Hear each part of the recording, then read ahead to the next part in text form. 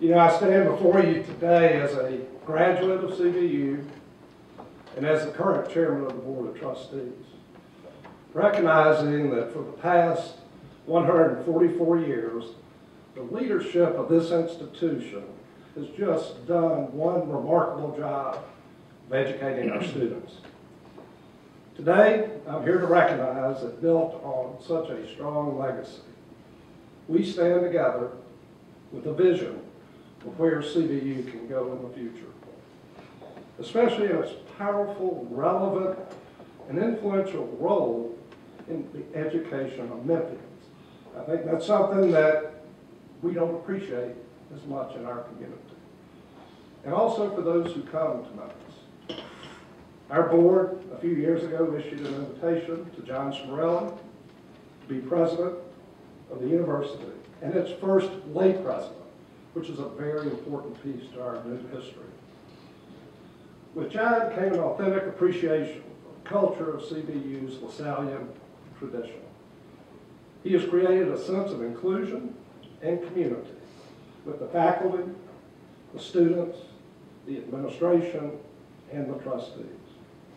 He sees opportunities to capture the momentum and expand the institution. Today, we've got some very exciting announcements. And it wouldn't be fair for me to announce those. It needs to be President John Smarrelli. So welcome up to John up to the stage.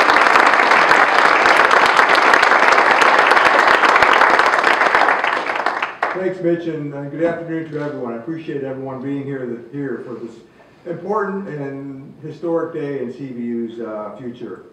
When I came to CBU, I accepted the position, understanding that there would be challenges as to all institutions of our type.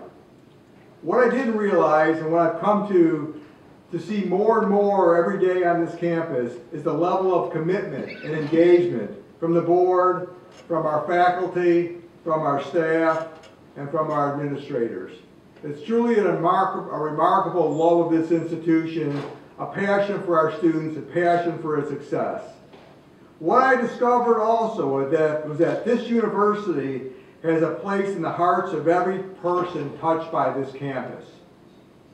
We must respond to the ever-changing educational needs of Memphis, specifically as we imagine how the evolution of CBU can continue with its mission of educating and how we can fulfill our mission, educating minds, touching hearts, and remembering the presence of God. This mission is unchanged. What will change going forward is the way we're going to aggressively pursue that mission. Today, representing the board of directors, the students, the faculty, and the alumni, we are here to tell you about Faith in Progress, the campaign for advancing education. I'll say that again, Faith in Progress, the campaign for advancing education. We are here to talk about a $70 million campaign. A campaign that's not all about construction. It's a campaign about programming. A campaign of taking the mission of CBU and responding to the needs of Memphis today.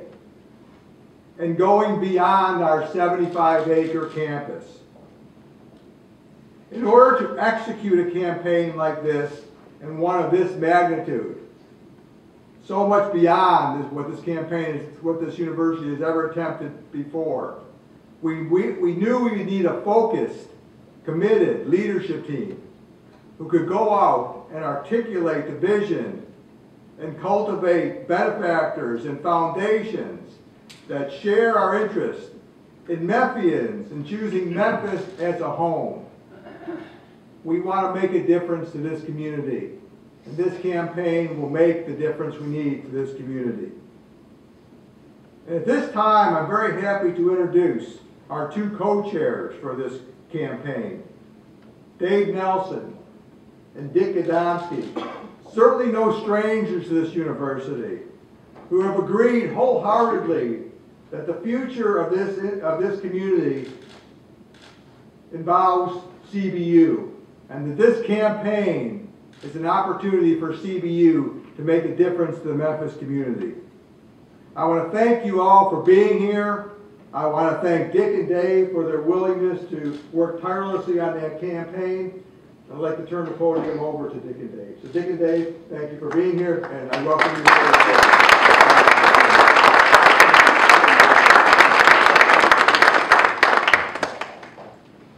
Well, I'm going to cover the, kind of the history of CBU's fundraising, at least uh, since the 1970s. Uh, I'm a 1962 graduate of the University in Engineering Chemistry, and uh, I was a brother's boy from St. Patrick's High School in Chicago, Illinois. And the Christian Brothers forever, forever changed my life and my family's life. I was a D-plus student when I came here uh, from St. Patrick's High School to, to uh, come to CBU. And CBU proved that a D-plus student can become a rocket scientist. So uh, I graduated and found that I could compete with anybody in the world with, the- with the education that I had here at Christian Brothers University. I spent uh, 12 years in uh, various industries, uh, uh, aerospace industry, food industry, chemical industry, and came back in 1974 to start my own engineering and construction business here in Memphis, Tennessee.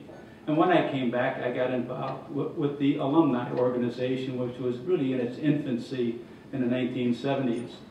And I had the good fortune of having a, a best friend, Lance Forstick, who was uh, at that time working with the Alumni Association. And I, I became groomed by Lance uh, to eventually take over uh, as president of the Alumni Association. And uh, we did the first actual alumni fundraising project for the university in the 1970s. And it was run entirely by the alumni. We did not have, a, have an advancement office uh, here at CBU. And after being groomed to take on those responsibilities, I, I ran the fundraising, uh, co-chaired it uh, with Boyd Lee, another uh, graduate from CBU. We ran that for five years. I was brought onto the board. At, at that time, Lance Forstick uh, was board chair, and he, Lance groomed me to take his place. And what he had been doing while I was doing alumni fundraising, he had developed a capital and and endowment campaign.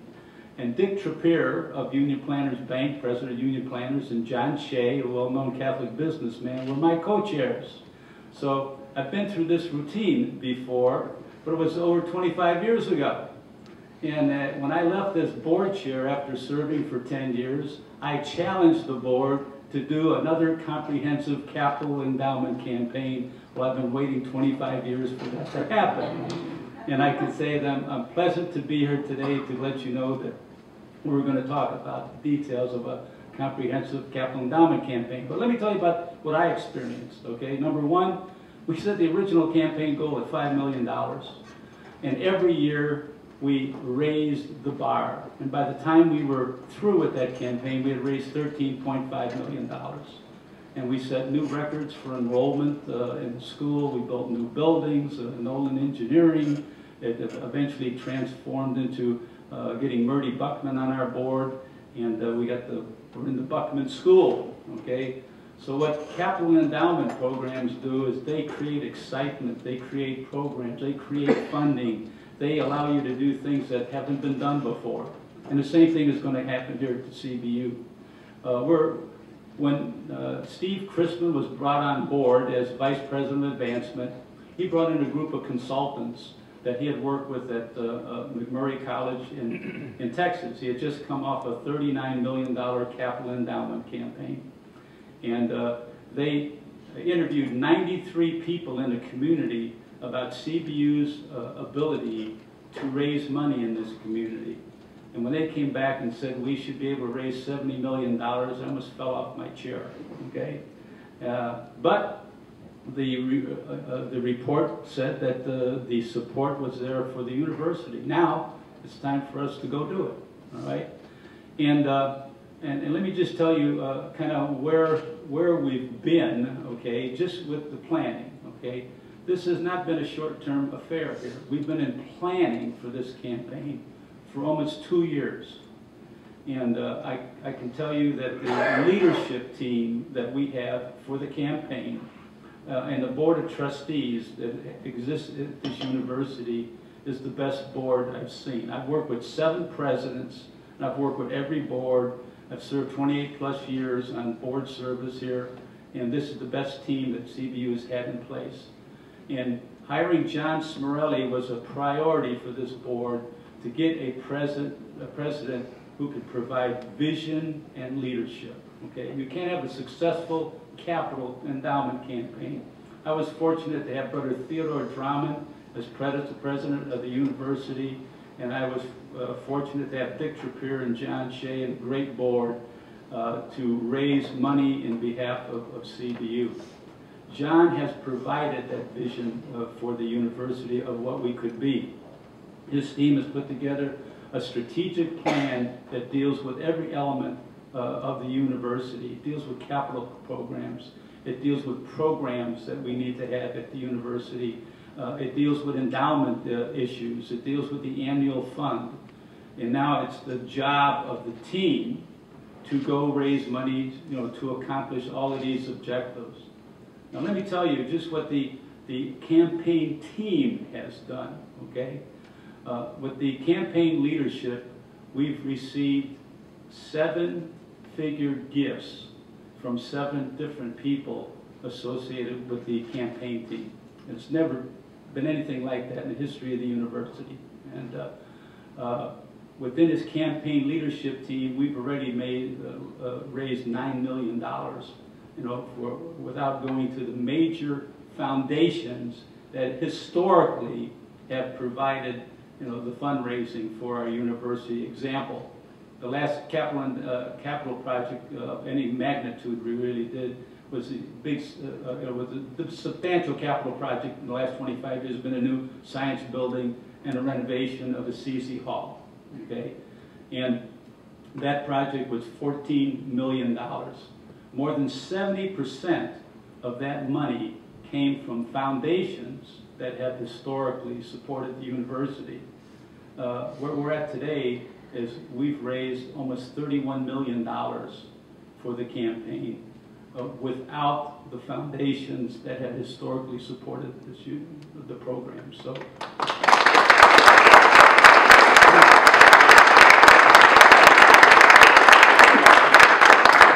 So it's all about having a vision, it's all about having a great strategic plan, it's all about having a great team. And this board uh, is almost fifty percent alumni now, the highest level ever. And there you can see the passion to deliver the product, okay? So that's the history. Now I'm gonna turn it over to Dave, and Dave is gonna tell you about the program.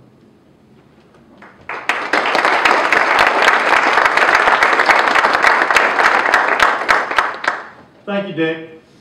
Thank you, everyone that's here today. I want to want to tell you on a summer day, a hot summer day like that, in the summertime, people warned us, don't have your, your big announcement in the summertime with vacations. And we said, you know, they also told us not to do a $70 million capital campaign either. So uh, we're proving them wrong on all fronts.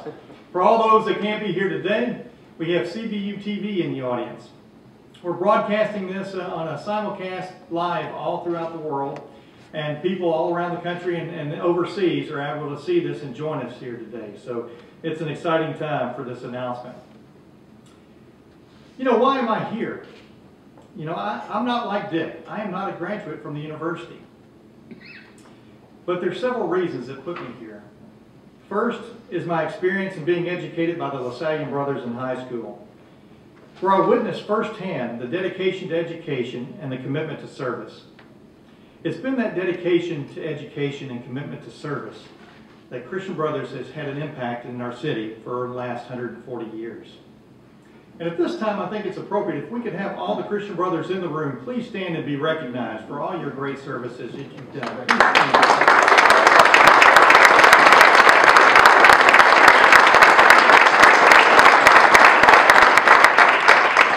Thank- Thank you so much, and for the people back home watching on CBU TV, we want to thank you, brothers, as well, for all the hard work and dedication that you've shown. My first real experience with CBU had to come in the mid-90s. When my brother and I was starting a business in Collierville, and two-thirds of our core team were CBU grads. With their leadership, we were able to create a company that took it from a small little firm in Collierville to an international leader in our industry. I quickly gained an appreciation for the type of students that CBU is turning out. In 2002, I was approached by then brother president, Brother Stan Sobczyk. He asked me if I'd be, be willing to consider serving on the CBU board. I was honored and said I'd be happy to. And at that point, I was able to see firsthand, take a business point of view and see firsthand the business model that a not-for-profit private university had to work under. And I got to tell you, as an entrepreneur, that is a, not the most favorable business models that you want to work under. But for some reasons, Christian Brothers have been able to make it work in our city for the last 140 years. During the next nine years of serving on the board, I served under four presidents. And during that time, the university progressed. We moved forward. Maybe not at a record pace, but we continue to put one foot in front of the other. During that time on the board, I served with some fabulous people. People in our community that really showed me what it meant to give time, talents, and treasure with a passion. And these people are people like Lance Forstick, Bob McInerney, Joyce Mullery, Willis Willie. I could go on and name so many more. But this guy next to me, the guy that I'm co-chair with, Dick Godomsky, stands, and I've got to tell you, Dick, that for those nine years when I was on the board, watching you and seeing how you operated with such love and passion for this school inspired me and still inspires me to today. Well, ladies and gentlemen, I'm here to tell you there is probably no better return on investment than CBU. And that probably goes back to the, to the, the toughness that the Christian Brothers have been always in, in, with their fiduciary responsibilities. When you look at things, and we talk to employers out there, they tell us what they're looking for with regards to their students as far as programs, and we're gearing those programs to meet those needs. Because we recognize, and they are starting to recognize, that 80% of our graduates stay in the Memphis area. Did you know that 90% of our students receive financial aid that covers approximately 50% of our tuition costs? we do that with endowments and with other funding. Also, 93% of our survey grads have, have, have an actual job when they graduate, which is huge. Another aspect that I think that speaks to the soul of, of the Lasallian mission is that over 40%, sometimes up close to 50% of our students qualify for some government assistance. These are people that, that need this, this education. And yes, we are a Catholic university. But do you realize less than 30% of our students are Catholic? I think Bishop Stive said it best when he said, they come to us not because they are Catholic, but because we are Catholic. Christian Brothers educates people of all faiths and all backgrounds to prepare young people for the challenges of tomorrow. This campaign, ladies and gentlemen, is truly going to be transformational. So I'm going to tell you, if you believe in Memphis, if you believe in CBU, if you believe in education, you need to be part of this. You need to be involved in this campaign, and you must support it. On behalf of our board, on behalf of our administration and professors and staff, we thank you for your time that you've given us today. Before I turn it back over to, to Dick for some final comments, uh, I do want to make a couple of housekeeping notes. In your program, it says that we're going to be meeting out in the, uh, the quad for uh, a reception. Well, the 97 degree 108 degree heat index is, has allowed us to move that into one of our newest buildings, the Cooper Wilson building. So we'll be, uh, be moving it into there in just shortly. So again, ladies and gentlemen, thank you for your time. Good things are ahead at CBU. Did it?